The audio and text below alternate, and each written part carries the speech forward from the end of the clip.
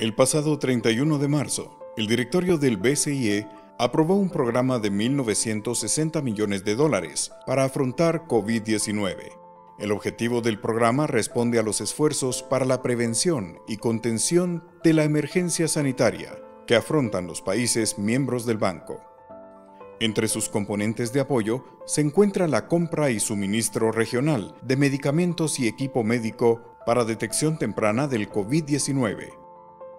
El programa que ya está en marcha cuenta con testimonios de parte de personas que están librando la batalla de frente. En la República de El Salvador ya se ha utilizado la donación realizada por el BCIE. Especial a la Junta Directiva del BCIE agradeciendo como institución, como Instituto Nacional de Salud de El Salvador, el donativo de 26.000 pruebas para detectar SARS-CoV-2, diagnóstico de la enfermedad COVID-19.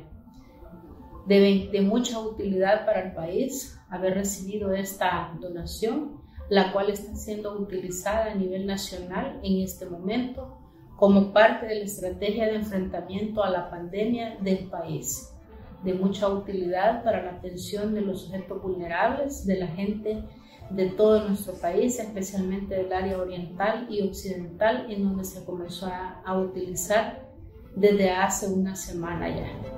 En la República de Panamá también han hecho uso de la donación de kits de pruebas para la detección del COVID-19. Primero que todo quisiera agradecer al Banco Centroamericano de Integración Económica por todo el apoyo que estamos recibiendo de ustedes y que han permitido hacerle frente a esta pandemia que realmente ha sido bastante difícil para todos nuestros países.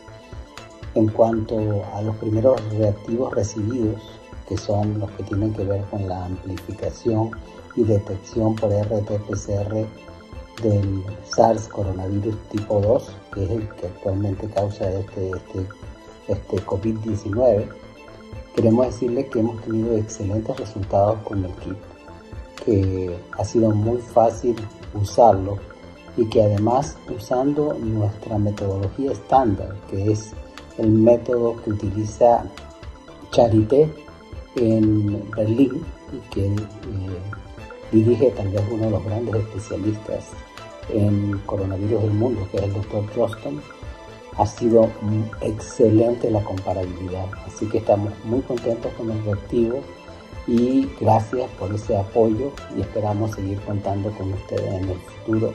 No solo cuando tengamos estos problemas, sino también para hacer una realidad lo que va a ser el futuro Campo Jorge, que va a servir no solo a Panamá, sino a toda Centroamérica. La República de Honduras inició el uso de la donación desde el 8 de abril. Eh, estamos eh, agradecidos de parte del Laboratorio de Virología con el Banco Centroamericano por su donación con los reactivos de amplificación para COVID-19. Eh, estamos, recibimos el donativo el 8 de abril el cual el mismo día, eh, entre el 8 y 11 de abril, estuvimos haciendo pruebas con los kits de, comparando las muestras de, unos pacientes que habíamos hecho con el kit de Berlín Charité, de los que nos ha proporcionado OPS, y gracias a Dios los resultados han salido igual, no, hemos tenido ningún inconveniente. Eso nos ha venido a abaratar costos eh, en la compra de enzimas y pues eh, estamos muy contentos. Hemos ya distribuido 50 eh, kits para San Pedro Sula. Eh, también el laboratorio privado está trabajando con los mismos kits y nosotros ya hemos recibido 90 kits. Nuestros países miembros cuentan con un socio estratégico. En toda su historia durante tiempos adversos, el BCIE ha brindado apoyo a sus miembros. Esta ocasión no es distinto.